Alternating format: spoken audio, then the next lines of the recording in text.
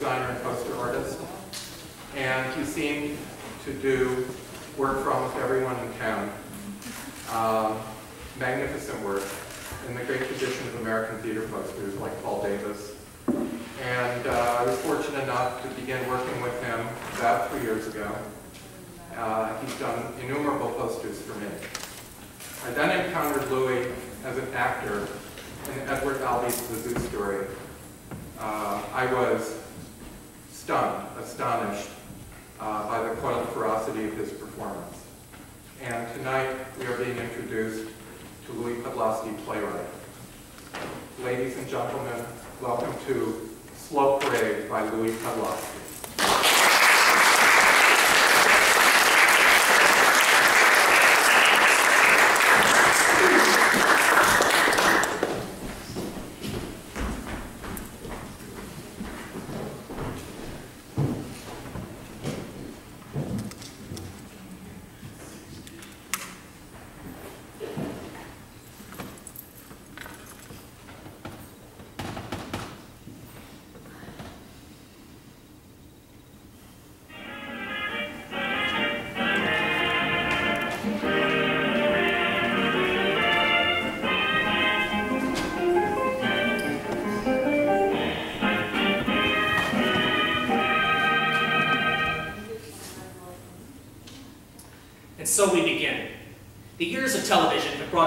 Brought break-the-mold moments. In news, it was the Kennedy assassination, the moon landing, 9-11.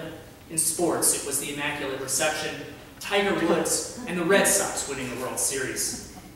One thing's for certain, though. Be it TV then or cable now, you can't change the channel without seeing this man's face. He's been on television, cable, and all sorts of other films for the better part of the last quarter century.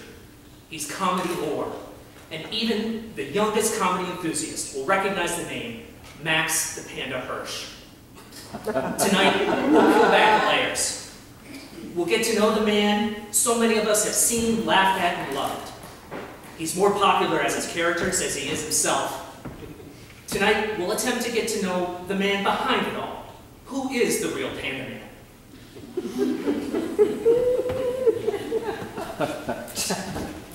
How are you tonight? Oh, Quite well, thank you again. Let's start with something academic. All right.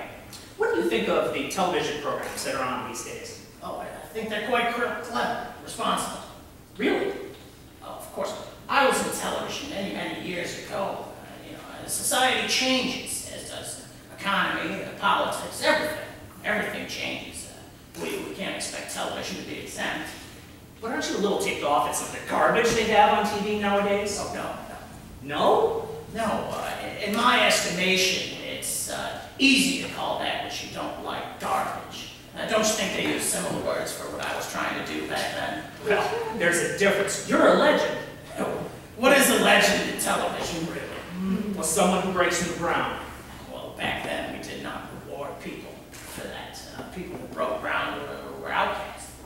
So what you're saying is, no matter the era, TV will always have its stinkers? Oh, absolutely. And you don't think that the 50s and 60s, your era, had better programs? No, of course not.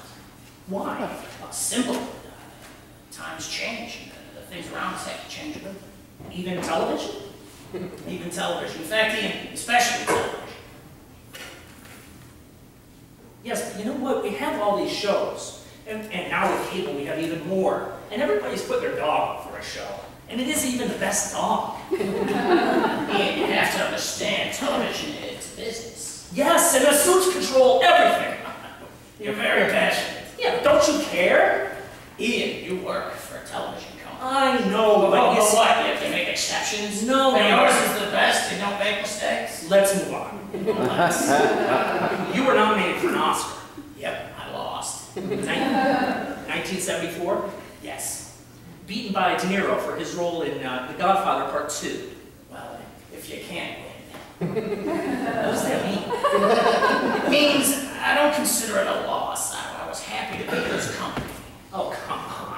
Ian, I see what you're trying to do here. What? Hey, you want me to lash out at, uh, at Hollywood, at my mother. Play this part. You want me to lie. No, I don't want you to lie. I just want You to want to know what pisses me off. Well- Because it makes for good television. No, sir, I just want you to tell it as it is. Are you sure?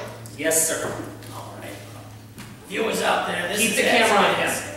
May I continue? Yes, sir. Folks, there is no great mystery to it. It's a job. It's a job I had a long time ago. Uh, I'm not ashamed of it. I wasn't then, and I am not now. Uh, I made people laugh, and, and I'm- I'm told I still do. That, that pleases me. All these years later, that- that's all I ever wanted. Uh, you don't really need to know me. I I don't need to know you. All, all that matters is I made you laugh. If I'm still doing reruns, that, that makes me happy. The rest is just news. It doesn't matter. You don't, you don't need to know anything about me. All that matters is I, I make you smile. That's it.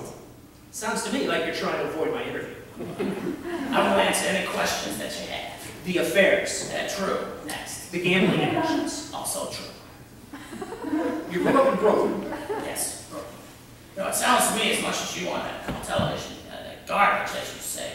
You sure are trying to be on par with that level of journalism. I don't understand. Well, uh, you're doing the same thing here with your interview, with this aggressive nature, your competing tactics. Does that bother you? No, no, but I think you should at least admit that your program does the very thing it admonishes. I see. Uh, believe me, me, I don't mind. I like the tough question. It's refreshing. And, you know, it's a heck of a lot better than answering uh, who are your influences for the 50th time. Well, Mr. Hirsch, I'd just like you to know I do have the utmost respect for you. Thank you. I appreciate that. He was born Maxwell Milton Hirsch, the only son of Francine and William Hirsch. Her a seamstress and homemaker, him a steelworker with ties to organized crime. It was at the age of nine that Max lost his father, murdered in a botched truck heist, the details of which Max has not spoken about publicly until now.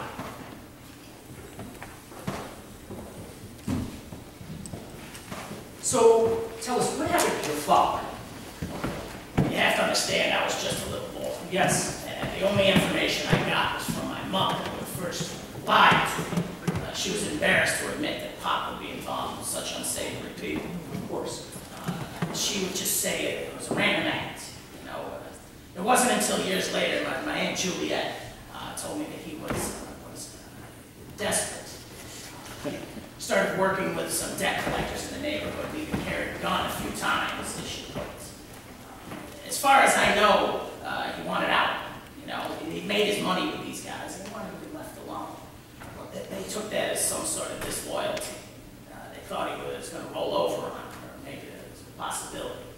So uh, one night, a, a routine hijacking of a cigarette truck, my father was shot point blank behind the right ear. An execution, Uh, nobody could prove that. that. That seems to be the intention. and there were no witnesses. There's no such thing as a witness in Brooklyn. Um, so how did you get the nickname Panda? Oh, I'm sure that story's been told. Come on, try us. Oh, Well, I was a tough kid in New York back then. At least I tried to be. Uh, I had two goals. I wanted to survive and I wanted to be funny. I made a few pals along the way. One day one of them says, you know, you never can't tell what side Maxie's on. Uh, he's the hero or he's the villain. He's, he's black and he's white. He's Clark Kent and Superman. He's a panda bear. Well, that was it. And it stuck. It stuck for the rest of my life. What year was this? Oh, I don't know, I was in my twenties, maybe nineteen fifty-three, More than 40 years ago. give or take, And you've been known as Panda ever since. ever since. Not much of a tough guy there now, is it? Well, I have to say, you've been uh, plenty tough with me tonight, Panda. Uh, I just want you to reach for that brass ring, and I like you. Well, I like you too, Mr. Hirsch. Well, now we're getting somewhere, aren't we? Let's talk about your favorite co-stars. Oh, there were so many wonderful people I had the opportunity to work with. Who was your favorite? Oh, that's impossible to pinpoint something like that. Martin Landau? Oh, of course, man, he's a genius. Rickles? Oh, great man, funny man, I love him dearly. Lucy? Oh, what can you say about that lady? A jet. You absolutely had no favorites. Uh, well, Ian, uh, I had the opportunity to work with some of the best entertainers uh, ever ever lived. I know that sounds like a bad answer, but it- it's true. I was fortunate. I, came along at a time and place where so many uh, wonderful people wanted to work with me. And to my astonishment, asked me to be on their show. It's quite beautiful, many, many wonderful television moments. Good memories. Uh, yes, well, Ian, uh, as I get older, uh, I realize when, when I feel truly elated, completely satisfied and content, I know to, to say, uh, it's just not going to last. Dismal. No, no, not at all. It's just, uh, I know to, to savor a good moment much better now than when I was younger.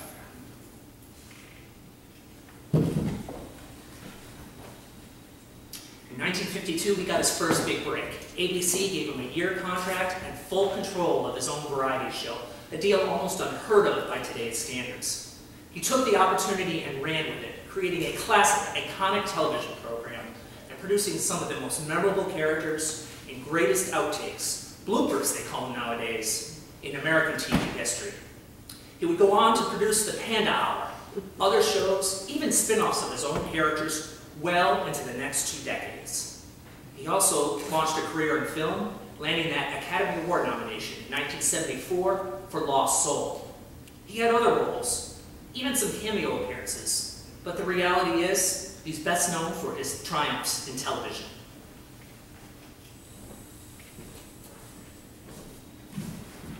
Now, does it ever bother you that most of the people who know you today do so from that long ago television show? Oh, no, not at all. No? No, no, Ian, once again, these are different times. I had my time. I, I embraced it. I took from it. Some would say I stole from it. Uh, I used my fame to, to get many, many things back then. Girls, booze, money, what have you. Not ashamed of it.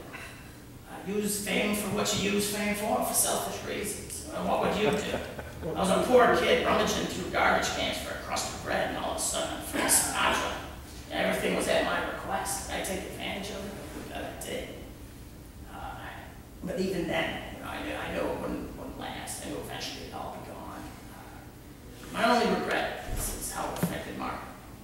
Your wife? Yes, yes, she was a, she was a trooper. She was there for it all, from, from being poor to all the glitz to a modest, uh, comfortable lifestyle now. She, she was with me for all. Amazing. Yes, it is. Uh, it's Hollywood uh, uh, marriage that suffered many, many setbacks, and she, and she stuck with me through it all. What would you say to someone starting out in the business now? Now, there's a repeated question. I've heard that one a hundred times. Once more, Well, I wouldn't say anything. You know, everyone thinks that I, or any, any celebrity or star, has some formula that can't be broken, and it's just not true. All I did, all anyone could or should do is, is keep trying. I caught a lucky break and I was successful. That's it. There's no, there's no magic. Nothing I knew then, uh, what I know now can explain it. Uh, I got lucky. well, sir, I have to tell you, it has been a pleasure. Well, same here, thank you. In my three decades or so of broadcasting, no interview or subject has struck me quite as effectively as Panda Hirsch. When I first him at the tender age of 23, I thought I had all the answers. He quickly proved that I don't. In just over an hour, he taught me about life, love, and how to deal with pressures surrounding people in the spotlight. Since that time, I've learned to shut my mouth, so to speak, but it was Panda who first taught me to shut up and listen. In keeping with his guidance, I have to get back to what this story is about. It isn't about me. It's about a gentleman and entertainer, beloved by millions, named Max the Panda Hirsch, who died today at the age of 84 at home, surrounded by his wife and children.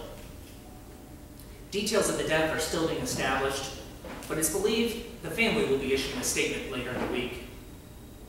Upon hearing the news, friends and family and, and fans took to Twitter and Facebook to express their sorrows at the loss of their. It's been a pleasure airing footage from my interview with him from 28 years ago. It seems so long ago.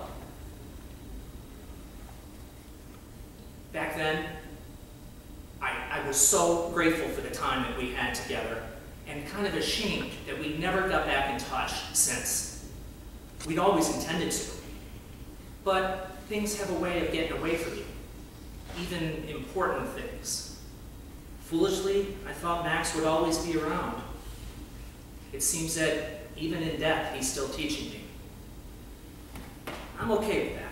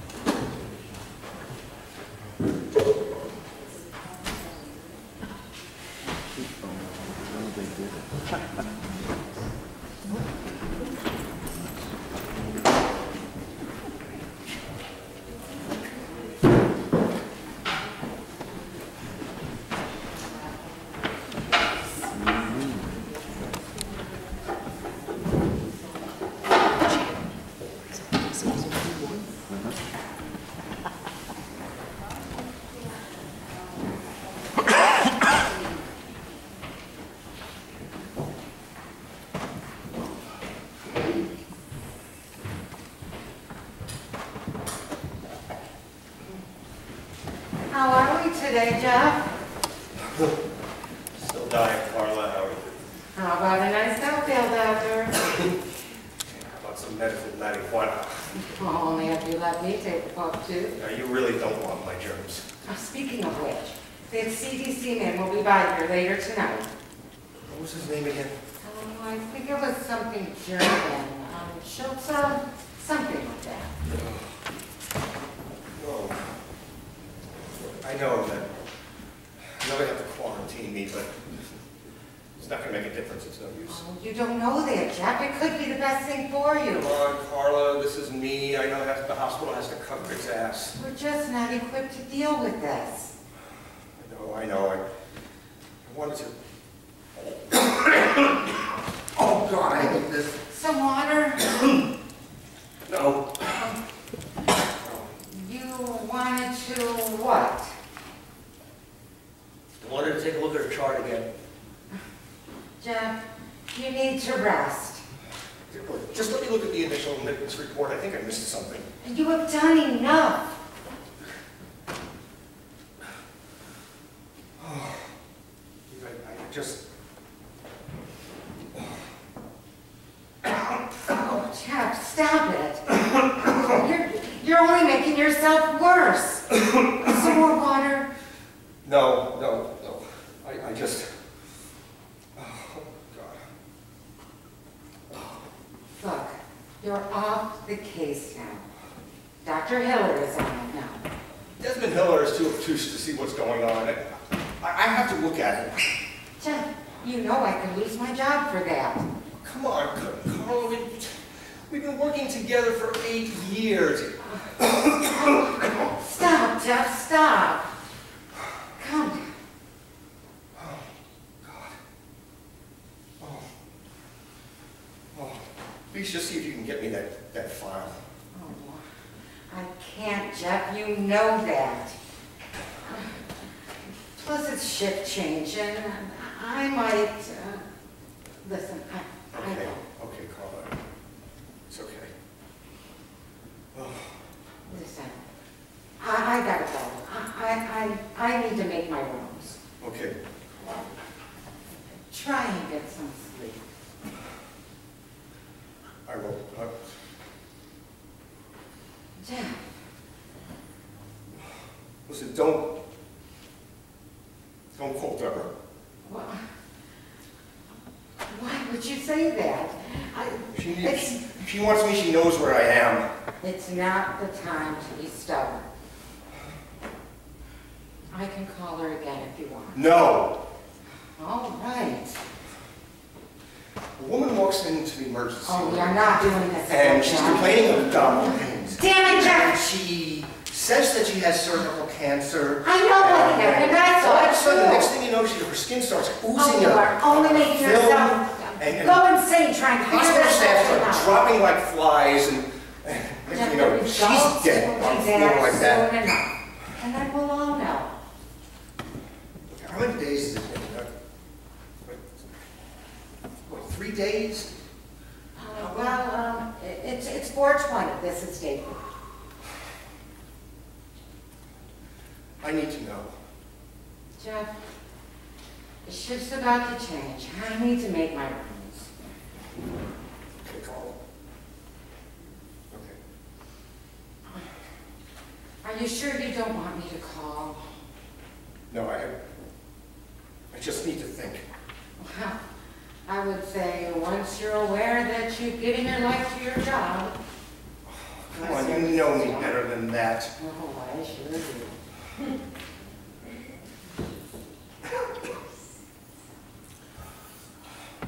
I Just, I have to know. You know, Jeff, I'm gonna go make my rounds now. Um, shift's changing, um, and, and I might, well, what? uh, Nothing, um, I have to make my rounds. What, you might not see me alive again? I wasn't going to say that. You didn't have to. Listen to me. As soon as I get some rest, I'm back in here checking on you. I'm staying here. Just need to rest a bit. That's so sweet, honey. Please try. I'll try. I'll try.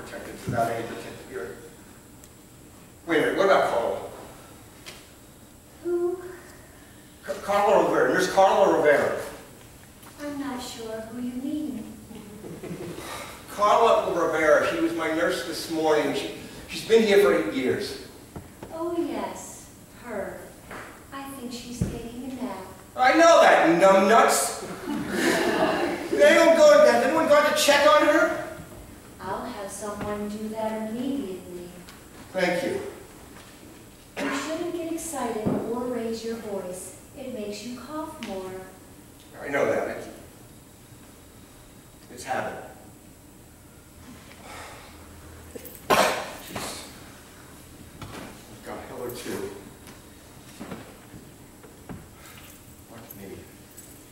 Dr. Hiller was exposed to the woman's blood sample while testing. Ruth, and, and you sure that's when? Yes.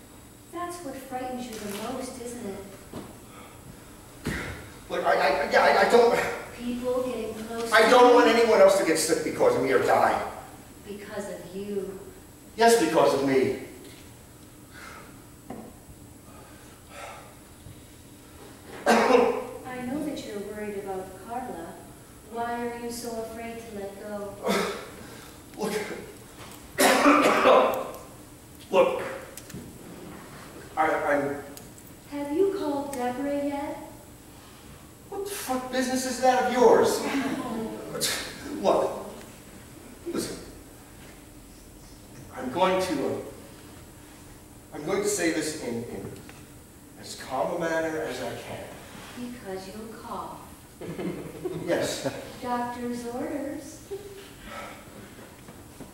I, um, I don't know who you are, but, um, I want you to get out of here. And uh, I want someone to check on Carla.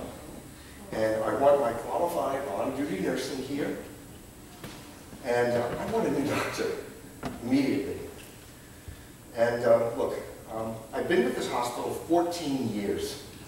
And the fact that I'm a patient now should in no way take away from the fact that my, my skills, my loyalty uh, should be uh, impugned in any way. So, as, uh, as calmly and as directly as I can, get the fuck out of here, you twisted fuck. No hard feelings, Dr. Jeffrey Cates. Who the fuck are you? What is your name? There's no need to get upset. I was interested in your case. Granted, it killed almost everyone on your shift, but that's not your fault. The woman had a toxicity level that would rival Chernobyl. But that's not your fault. Help! There's a crazy woman in my room! Help! Please help me! I told you not to yell, didn't I? Please! Help! I'm your doctor. Don't you care about your well-being? For someone who tells so many patients what to do, you certainly have a hard time following doctor's orders.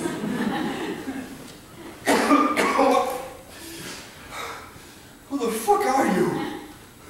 You're dead, asshole. you fucked it all up. Your life is meaningless. You're not a doctor, are you? Dr. Susan Wexler, podiatry, six years. You're a fucking foot doctor? Guilty as charged. But don't you worry about that.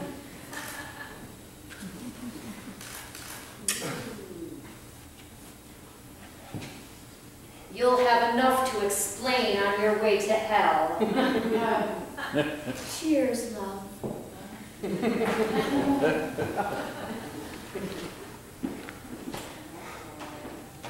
Ah! Help me! Help me, please! Help! Help! Help! What's the problem? Carla, are you real? No, I'm the Matrix. What day? What day is it? Tuesday? What time? I don't know, uh, a little after 1 a.m. Why? What? What?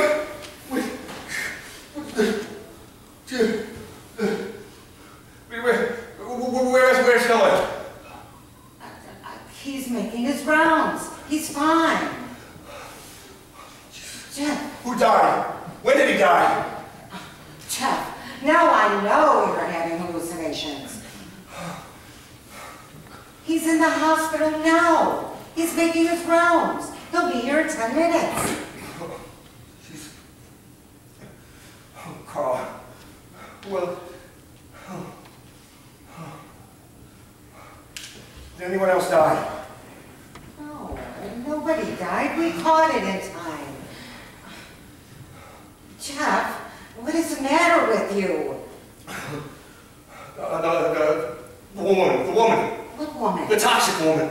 Oh, Mrs. Stample. Yes, her body's still here. They're running tests anymore. It turns out that she made such a Molotov cocktail of medications that she actually produced malathion. Uh, isn't that strange? Malathion. It's an insecticide, very deadly to humans, but we caught it in time. She ingested it? No. Apparently, she took so many chemicals and pills that she basically manufactured it. And it got the whole ward sick.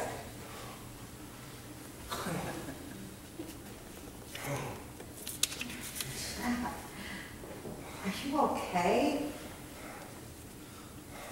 What is going on? You have some memory loss. I'm gonna let Dr. Hiller know about that. Go, go, go. Go, go. I won't. I won't, Jeff. I- I'm staying here with you. What's going on, Jeff? What is the problem? It's, it's October 4th. Do you remember the date? Yes. Um, just, just stay with me tonight. Do you want me to call Deborah? No. Oh, What can I do? Just stay with me tonight. You got it, Jeff. But no excitement.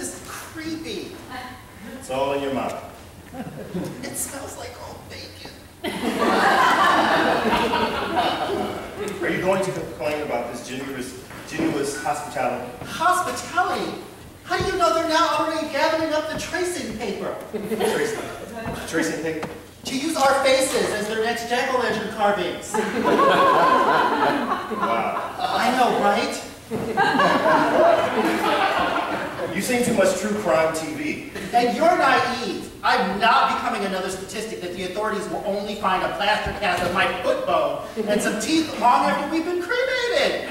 I never knew you were this nervous. That was before we got invited to sleep at 108 Ocean Avenue. Will you stop? It's not Amityville. Damn. You got that reference? I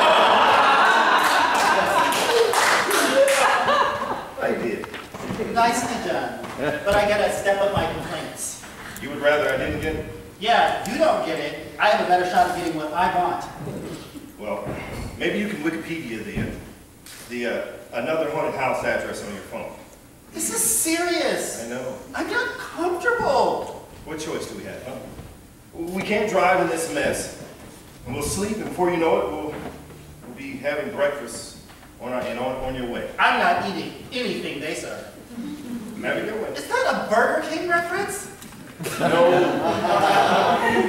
Dumbass. It's just an expression. Do whatever you want. I want to leave. We can't leave. It's just too nasty out there. We might as well make the best of things. Why did they invite us? We don't even know them. To be nice. They knew we could not go all the way back to our hotel and shit. You don't think it's just a little bit strange? We had drinks with them all night. We met another couple in a bar, and after a few hours, you think it's safe? Safer than driving. There were no other hotels in the area. He offered her. I accepted. What's the big deal? The big deal is that this place is messed up. Come on. You were enjoying their company, laughing it up. I was being courteous, you dick.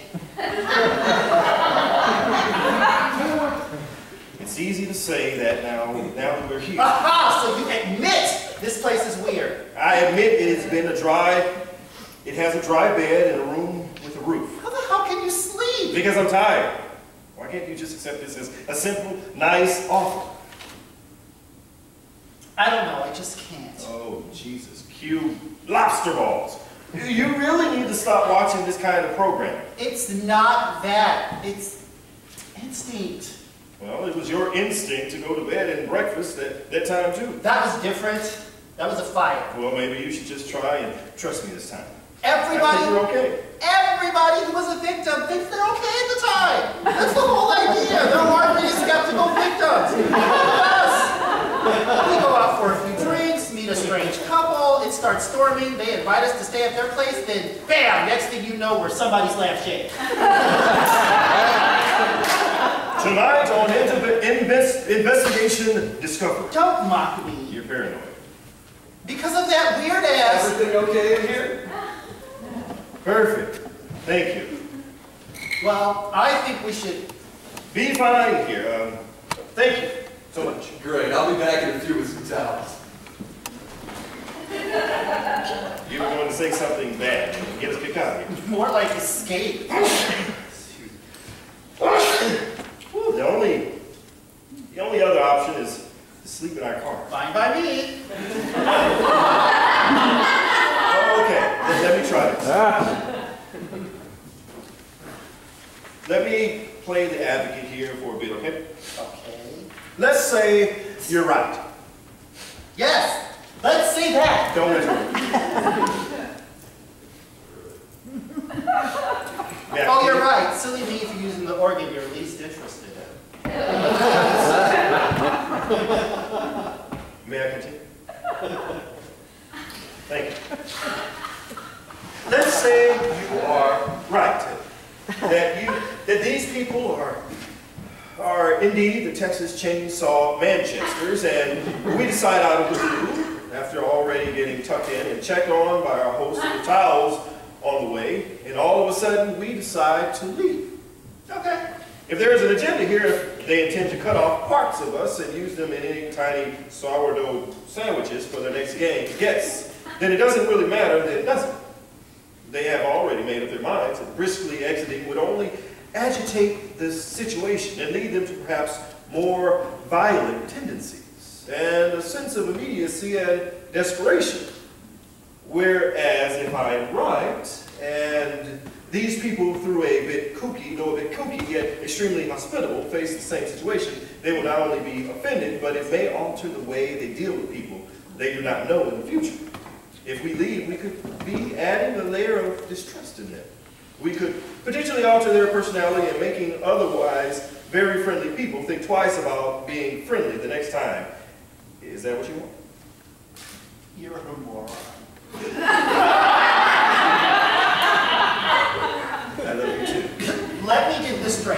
You would rather just lay down here and fall asleep with full knowledge that we may wake up looking at our host wearing our fingers as earrings. Or the flip side scenario that we spent a bad night in a weird place. You were willing to take that chance with yourself and with me without even thinking about getting the hell out of here. And putting up a fight, and maybe we get away, and maybe not. But on foot, running to the car versus in PJs, in the bed, the option should be academic. Or we get the hell out of a weird couple's house. People we will never see again. You're willing to just lie down on both options, be it serial killer or strangers, just because you don't want to be rude? I, I just don't want to jump to conclusions. Fresh towels. Thank you. Well, the bathroom is through those doors and to the left. You can both shower in the morning. We're serving breakfast at about 10 a.m. But if you'd like to sleep in a little later, we'll be serving lunch in a few hours after that. I just want you both to have the option. Sounds wonderful. Yes, sheer delight. We are so glad the two of you are staying here tonight. I mean, we don't know what we would do if you were just out there in this mess right now. We really appreciate it. That pillow looks flat. It's perfectly fine. Oh, no. You need to be comfortable. I can manage. It's really fun. Now, what kind of a host would I be if you two just weren't chipmunk comfortable? I'll be right back, you little cutie patootie.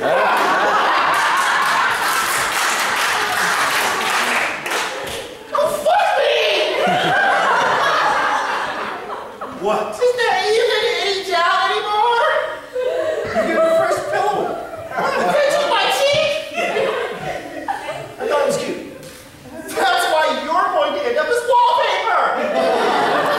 And that would have been more pleasant. You are out of your mind. And you're a cynic. Chipmunk comfortable? What the hell is that? It's probably a, a regional expression. Wow. You really don't think anything about this? It's strange, but I'm not one to judge. Pinch my fucking cheek! So what? Obviously, there is no such thing as personal space in your world. Of course there is. But gift horse, you know, mouth. Oh, I see. So if they had let us take the house for the weekend, we should have been fine with getting a dirty Sanchez. You're really overreacting. You didn't get physically violated! Neither did you. You're being ridiculous. We seriously have to get out of here. I'm comfortable. I think it's nice. So you're just gonna let me be tortured here?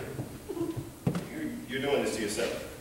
It's fine. Say that when you get touched. This is the most ridiculous argument you've ever had. No, the most ridiculous one was the sex of Big Bird. I still say she's a girl. Fine, but this is a close second. I still say she's a girl. Not again. Fine! Fine. Can we just make up some excuse, like an emergency or something? You mean a bigger emergency than, say, a potential hurricane? It's not that bad. It's after midnight. We should just relax. You should just try and relax. I'm having a hard time breathing. Suppose the pillow comes back with some sort of knockout solution. And I'll finally be able to get some sleep. Open mic night at the Apollo, ladies and gentlemen. Oh, Besides, it's their house, their bed. If they wanted to knock us out, we could already be, you know, Throw rugs! yeah, whatever. This is getting increasingly disturbing. Okay, I've had enough of this. Do, do you do you really want to leave? Yes! It is that important to? To keep my organs off ice? Yes! Fine. Get up! Get up!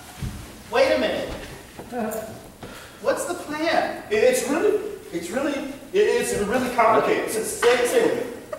We leave. What about them? Well, we'll make up some excuse, like you said.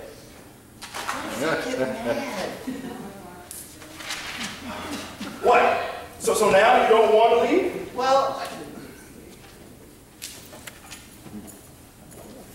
What do you want? don't yell at me. Well, then, uh, what? Well, I'm thinking. all right. All night long, you- you- you're begging to get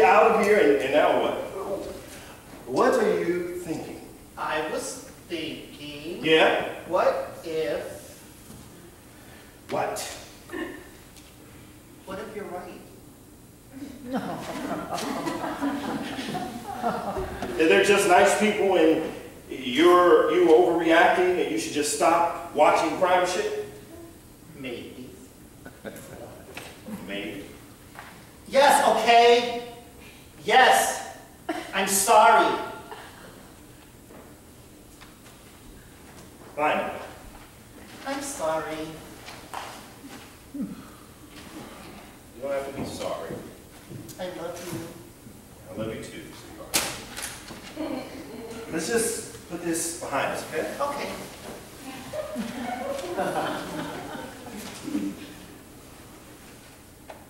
We'll deal with your paranoia another time. Let's, let's just, let's just sleep.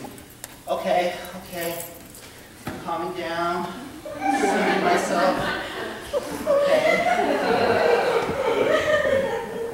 Thanks for understanding. Of course, it's, it's just enough of this now. huh? You're right. I love you. I love you too. Just relax. Okay, it's just, What? tree outside the really cool. Don't look at it. When your pillow comes back, sleep on your stomach. Okay. Time for sleep. Hello. Hi, thank you so much again for your hospitality. We really appreciate it. Yeah, about that. Um, we were talking about this downstairs, and we realized we don't know you that well. Fuck.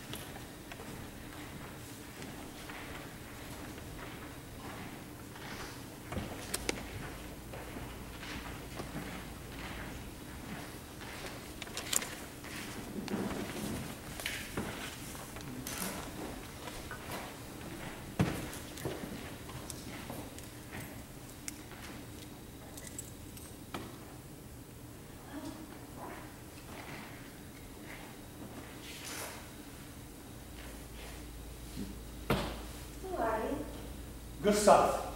And you? Amelia. When did you die? In World War II. You were a soldier. Yes. You seem sad. I miss things in my life. Oh, so do I. Hmm. When did you die? Three months ago. You seem so young. Mm, Cancer.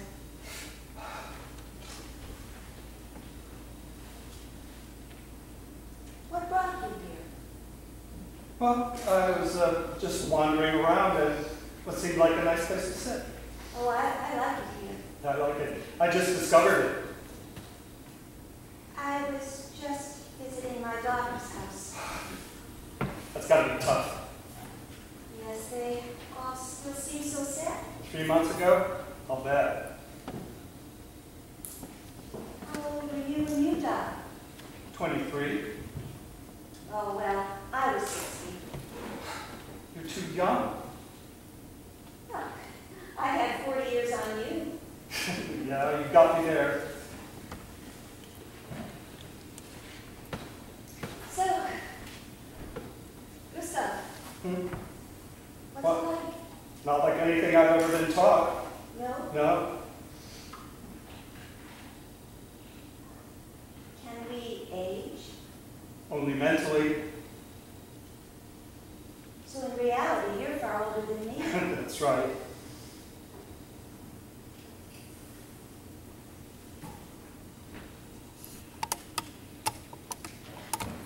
How do we know when we'll be chosen?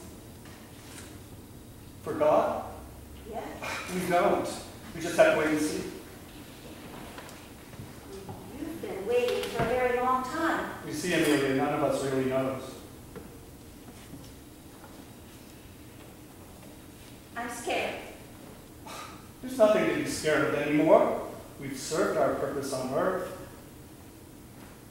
I don't want to see my family in pain anymore. There's a simple solution, Amelia.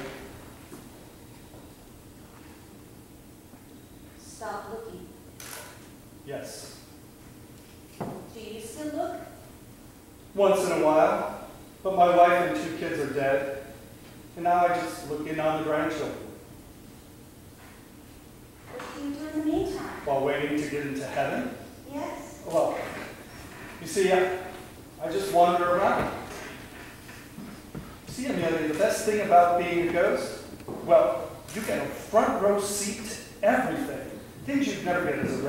mercy.